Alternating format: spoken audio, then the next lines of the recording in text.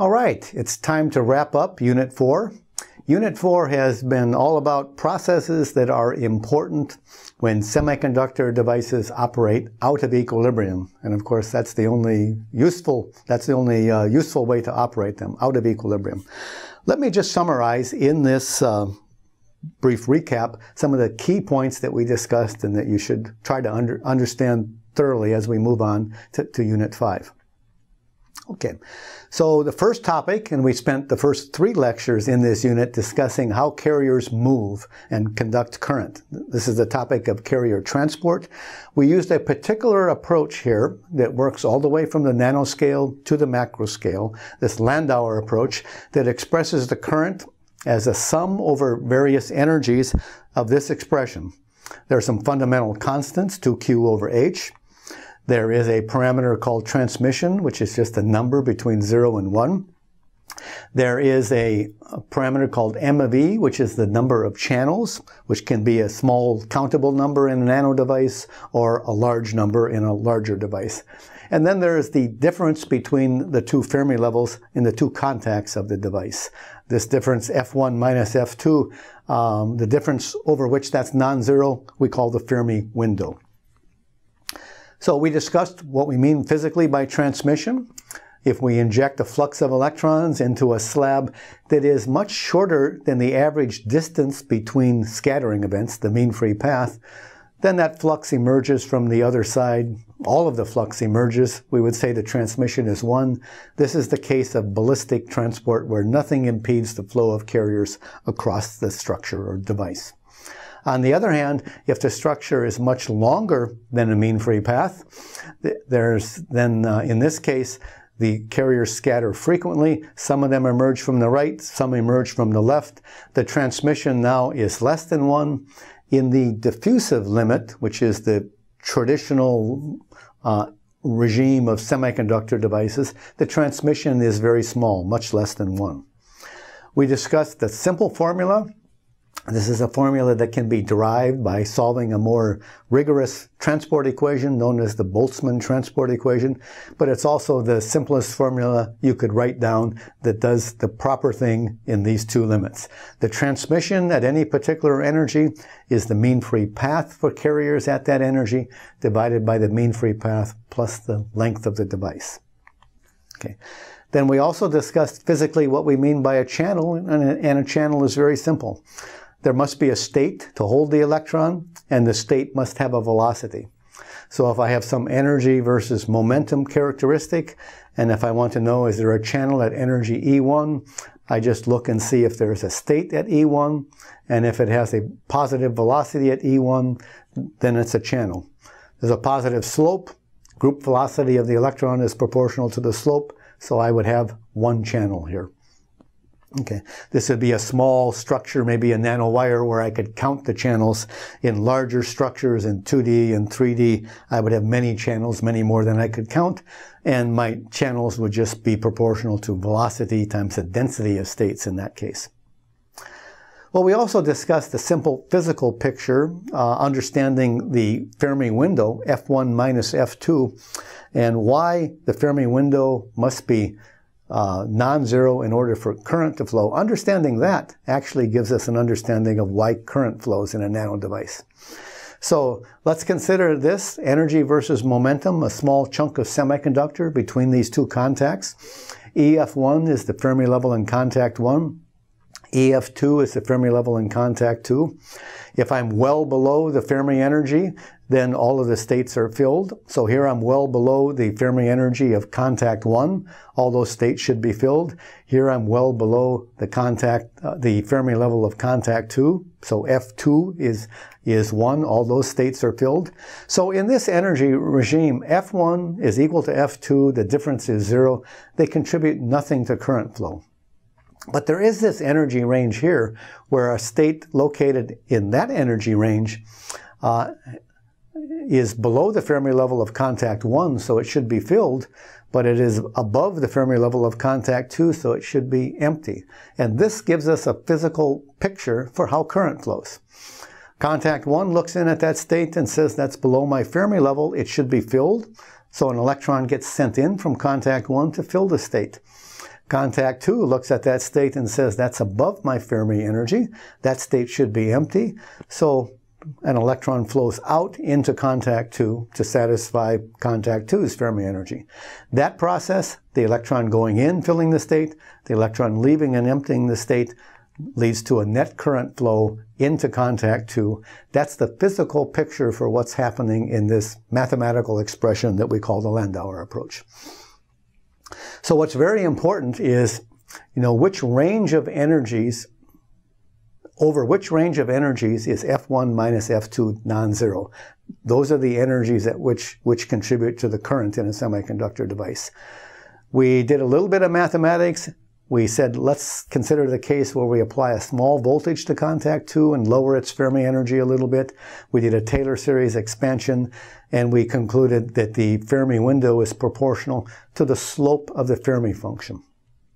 Okay, so if I take that slope you know, the energies that are going to be important are the energies in this region where the Fermi function is transitioning from 1 to 0. So that slope will show a peak near the Fermi energy. Um, that peak is a few kT wide. We can also show that, that the area under that peak is 1. So it looks sort of like a delta function. And as we go to lower and lower temperatures and it becomes narrower and narrower, we can treat it, we can approximate it very well as a delta function. Okay, so putting this together, we can derive a formula for the current. Uh, if we apply a small voltage, we find that the current is proportional to voltage. G is just the conductance. We have an expression for the conductance in terms of the properties of the semiconductor, its transmission, its number of channels, and uh, we add up the contributions in each energy re regime, and only those that are inside the Fermi window then contribute to the actual integral when we add up all of those contributions. If we go to low temperatures, this derivative becomes sharply peaked. Our window function becomes a delta function at the Fermi energy. The integral becomes easy, and the conductance is just 2q squared over h transmission at the Fermi energy times the number of channels at the Fermi energy. If we have a very short device, then the transmission is one and we're ballistic. So this would be the ballistic conductance. And if we have a very small device, we can actually count the number of channels. And this leads to quantized conductance, this, uh, you know, an understanding of uh, why the current doesn't, or why the conductance doesn't increase linearly as we increase the the width of a device, but increase is, increases in steps as we get one, two, three, and more and more channels. Okay. That's what happens in a small nano device. The advantage of the Landauer approach is it allows us to treat small devices, which are becoming more and more common, but it also allows us to treat larger, more traditional semiconductor devices like transistors and solar cells, which operate in the diffusive limit. So we took the same expression. We showed that if we take the transmission in the diffusive limit, when the device is very long, and if we assume a small applied voltage or small difference in the quasi-Fermi level, we could re-express that current equation in this form. The current density is conductivity times the gradient of the quasi-Fermi energy, something analogous to the Fermi energy, but defined out of equilibrium. And the constant of proportionality is the conductivity, or 1 over the conductivity, the resistivity. Now, we have an expression for the conductivity in, in terms of channels and mean free and transmission and uh, Fermi window. It's also common in semiconductor work to define the conductivity to be carrier density times Q times mobility. Sort of seems intuitive that the more carriers that carry electrical currents, the higher the conductivity will be. And the constant of proportionality is this defined quantity, the mobility, which has units of meters squared per volt second, although semiconductor people like to quote it in centimeters squared per volt second. So we always have to be careful about these units. Bottom line then is that we can express this current equation in an equivalent expression J is equal to electron density times mobility times gradient of the quasi-Fermi level. So this is a very uh, solid starting point for traditional semiconductor devices that operate in the diffusive limit. This is an expression that's been around for a long, long time in transport theory. We have derived it in a way that it is consistent with uh, this Landauer picture that allows us to go from small devices to large devices smoothly so that when we encounter small devices, we know what to do. So if we begin with this diffusive current equation, uh, we can show that in the non-degenerate limit, the electron density is related to the quasi-Fermi uh, energy by this expression. We can solve for the quasi-Fermi energy, we can take the derivative, and we can rewrite our current equation in an equivalent form. And this is what we call the drift diffusion equation. In a traditional semiconductor course, this, this is usually the starting point. The reason that we haven't started here is because it's not clear when you start here how to think about a small device. And we've presented carrier transport in a way that we can go smoothly from small devices to large devices. But in going through this process, we have re-expressed this current equation in two pieces. There's an equation, a component that we call the drift component due to the force that an electric field exerts on carriers that pushes them along. And there is a component due to the diffusion of free carriers, electrons, or holes down a concentration gradient. These two parameters, the mobility, which tells us how fast the carriers move in an electric field, and the diffusion coefficient, which tells us how quickly the carriers diffuse down a concentration gradient, these two parameters are fundamentally limited. D over mu is equal to KT over Q. So you will find it's much easier to measure in practice the mobility. And when we need a diffusion coefficient for a problem, we will usually invoke the Einstein relation to find what the corresponding diffusion coefficient is. So putting this all together, you know, this is our description of traditional semiconductor devices in the diffusive limit. We have a current equation for holes. Um, we can break that apart into a drift diffusion equation. So we have two components. We have similar equations for electrons. In general, we'll have both electrons and holes moving and conducting current. Uh, so in general, we need to account for both of those components. In practice, we will often find that the current is dominated by one or the other, but that's not always the case. The key parameters in these current equations are the mobility, which we have expressed in terms of the mean free path for backscattering. Uh, we can also express it in terms of the average time between scattering events. So there's a relation between the material properties and the mobility. And then there is a relation between the diffusion coefficient and the mobility that is called the Einstein relation. So this is our summary of current transport for traditional semiconductor devices, and this is usually considered the basis for understanding semiconductor devices, at least traditional ones that are large and operate in the diffusive limit. Now, if we look a little more closely at that drift component, and if we look at a bulk semiconductor device with increasing electric fields, People will measure the velocity versus electric field characteristic. In silicon, it will look like this. Um, in gallium arsenide, it will have a much more interesting characteristic that we can relate in, in more advanced courses to the physical, physical processes that are going on inside gallium arsenide. If you look in the low electric field, the small bias regime, we call this linear transport. In this regime, velocity is proportional to mobility times electric field. So the slope of the velocity versus electric field here is the mobility. You can see that the mobility of electrons in gallium arsenide is much higher than the mobility of electrons in silicon. Under very high electric fields, however, the, the, carriers gain a lot of energy. They undergo a lot of scattering. Uh, their velocity drops. Most semiconductors, the velocity for very high electric fields does not increase linearly indefinitely, indefinitely with electric field. It rolls over and tends to be about 10 to the 7th centimeters per second.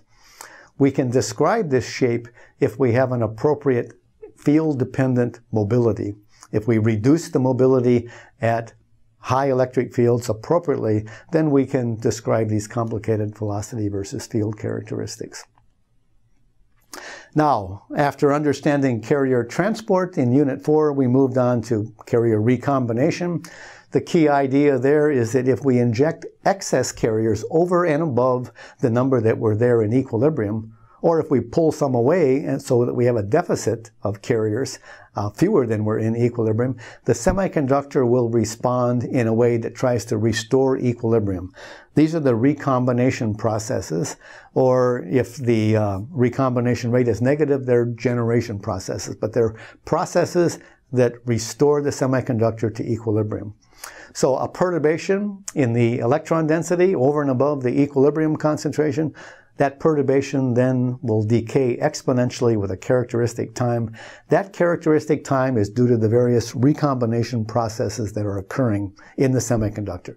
And we discussed three of them. Radiative recombination, where an electron drops from the conduction band to the valence band and gives off the, that energy as light. We talked about defect-assisted processes, where an electron drops from the conduction band to a defect in the forbidden gap, and then to the valence band to, to annihilate a hole. The energy in the, those processes is typically given off by as thermal energy that heats up the lattice. Uh, and then there are also Auger processes where the electron is given to another carrier. So in a semiconductor device that is dominated by minority carriers, like bipolar transistors or solar cells, we need to understand the minority carrier lifetime. It is typically dominated by one of these three processes or by some combination of those three processes, depending on the particular semiconductor. So again, band-to-band radiative recombination is the basis for semiconductor devices like uh, semiconductor lasers or light-emitting diodes, solid-state lighting. Auger recombination dominates when the doping density is very high and there are lots of X uh, mobile carriers around to give the energy to instead of uh, a recombination, instead of giving the energy to a photon or to thermal energy. And Shockley-Read-Hall recombination dominates. Uh, it dominates in very high quality indirect gap semiconductors because these band-to-band processes are not probable.